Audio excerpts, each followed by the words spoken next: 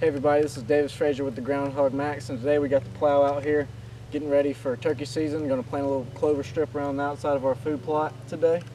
Um, the thing that makes the Groundhog Max so good is that it can go anywhere your ATV or UTV can go. It, we had to drive about a mile and a half down rutted out logging roads, cross two creeks, go through some swampy stuff, and you can't do that with a tractor or a pull behind plow most of the time, especially if it's real bad. So that's the thing makes this uh, groundhog so good is you just tuck it up right here and then that's all and then that's all you got to do. It'll go wherever you need to go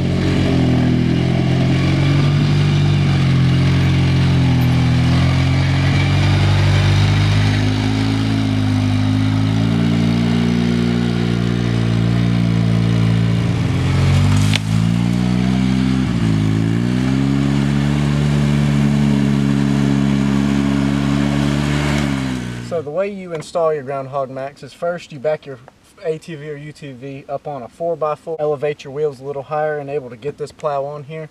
Second thing you do is obviously you put it into your uh, ATV's 2 inch receiver, drop it to the ground, pin it right here, pin it right there, back it off, back it off your, your wood blocks and then you're ready to go, start plowing.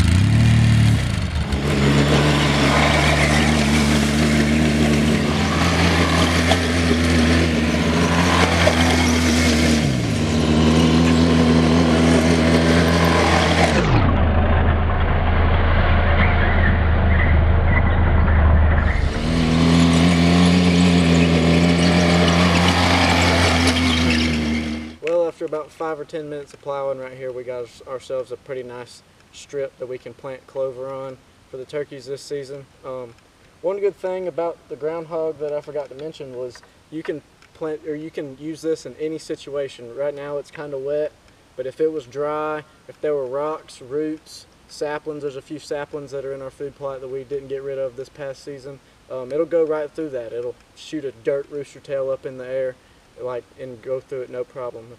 And the last thing that's so good about this is it's just fun getting to drive your ATV out and know that you're about to plant for this upcoming season. It's just fun and I like turning around and seeing all that dirt flying. So thanks for watching.